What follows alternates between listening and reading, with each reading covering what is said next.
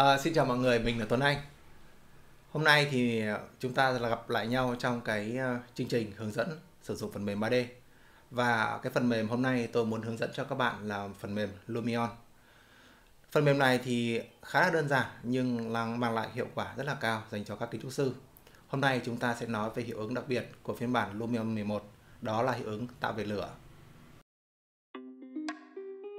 Trong phiên bản Lumion 11, hiệu ứng về lửa được cải tiến rất rõ ràng và chân thực. Điều này sẽ giúp phương án của bạn trở nên chân thực hơn rất nhiều.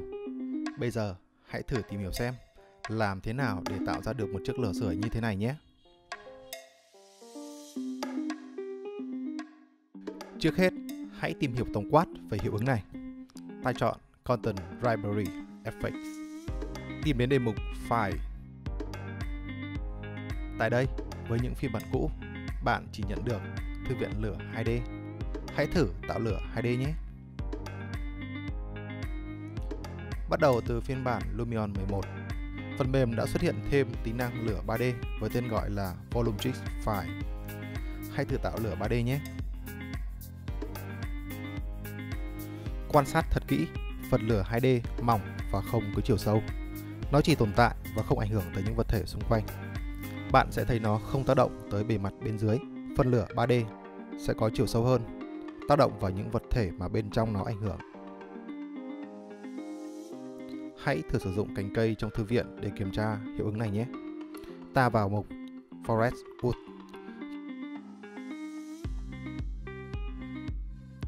Mặc định khi tạo cành cây, nó sẽ tự động xoay với góc bất kỳ. Lửa 2D không tác động vào cành cây và vùng cát bên dưới. Lửa 3D tác động vào cành cây và cát, tạo độ rực cho vật thể. Khi cành cây ở phía ngoài và khi cành cây ở phía trong ngọn lửa 3D. Vậy, khi tạo lửa cần chú ý những thông số nào? Hãy xem ví dụ sau đây nhé. Khi bạn tăng chiều cao của lửa 3D, nó sẽ thay đổi vùng tác động của mình. Vậy nên, hãy chọn một cao độ cho thật phù hợp. Nếu bạn chọn Play on Landscape, phần lửa sẽ được thả rơi trực tiếp xuống bề mặt của địa hình. Width và Length giúp bạn mở rộng hay thu hẹp của vùng lửa cháy.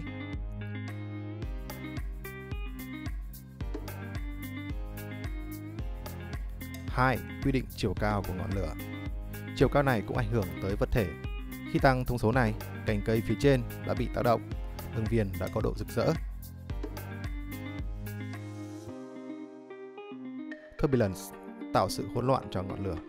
Nếu thông số này nhỏ, ngọn lửa sẽ cháy nhẹ nhàng và ổn định. Nếu thông số này tăng lên, ngọn lửa sẽ hỗn loạn hơn. Thông số Intensity Thông số này cho phép bạn điều chỉnh cường độ cháy.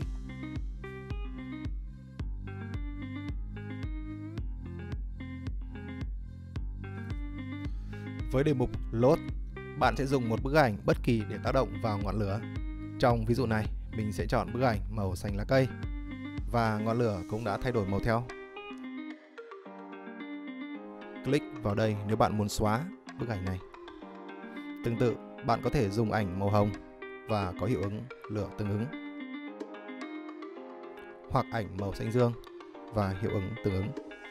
Hãy chú ý, nếu bạn chọn một bức ảnh chỉ có sắc độ màu đen và màu trắng, ví dụ như bức ảnh này, hình tròn màu đen, phần nền màu trắng, bạn sẽ thấy lửa không xuất hiện tại vùng màu đen, nó chỉ xuất hiện tại vùng màu trắng mà thôi bạn hãy thử áp dụng hiệu ứng lửa 3D cho lò nướng vòng tròn này nhé.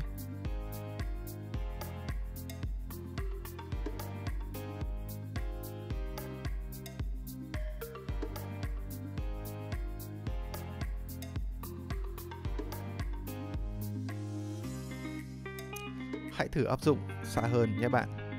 Ở đây mình chọn ảnh có chữ Tuấn Anh được viết xuôi như thế này bạn sẽ thấy hiệu ứng lửa bị ngược lại. Nếu mình chọn ảnh có chữ ngược, bạn sẽ nhận được hiệu ứng lửa 3D có chữ xuôi như thế này.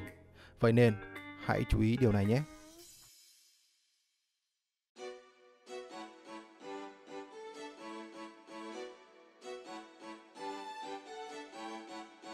Hãy cùng tôi tạo ra một chiếc lò sưởi nhé.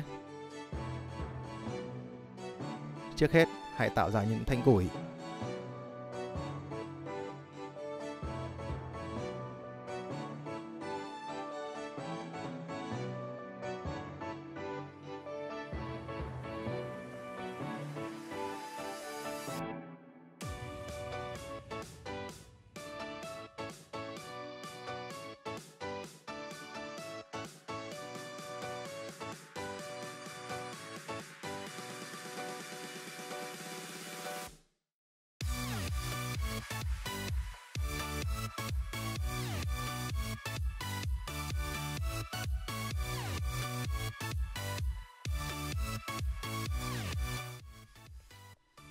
Phần 2.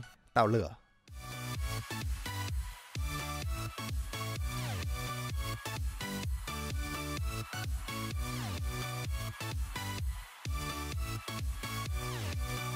Tại đây, mình sẽ chọn ảnh có vòng tròn màu trắng. Bạn có thể kéo phần lửa ra vị trí bên ngoài để dễ kiểm soát hiệu ứng này. Thay đổi thông số để bạn có ngọn lửa phù hợp. Sau đó, đưa vào lò sưởi để kiểm tra hiệu ứng nhé. Thay đổi cao độ của lửa để tạo nên cảm giác chân thực hơn.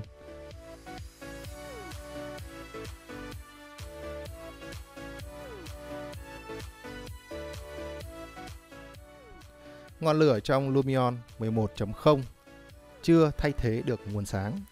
Vì vậy, bạn cần bổ trợ thêm nguồn sáng Only để tạo thêm điểm nhấn.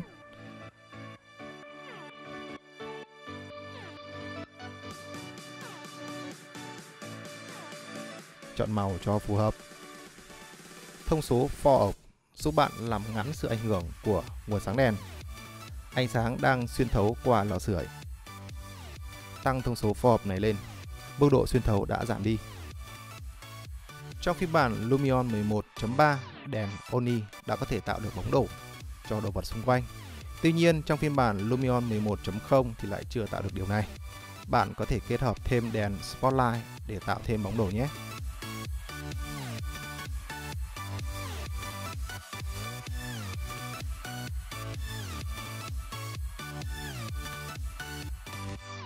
Hãy kéo rộng độ mở của đèn.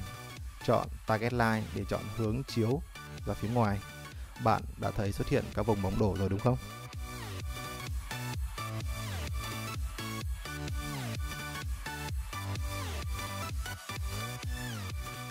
Để tạo thêm sự chân thực, bạn có thể copy thêm các nguồn sáng online để mở rộng vùng sáng cho lò sưởi.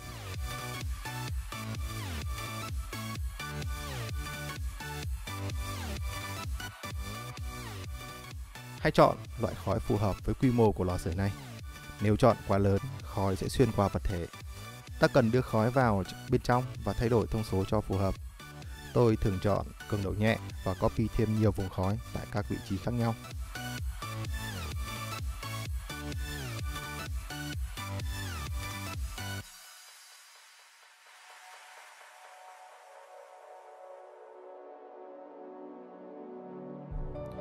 Xin chúc mừng, bạn đã tạo ra một chiếc lò sưởi rồi đó.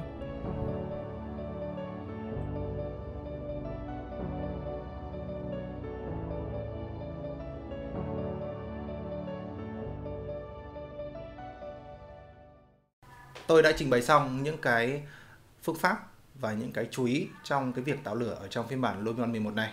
Nếu bạn cảm thấy video này hữu ích, có thể like, share và theo dõi kênh của mình nhé.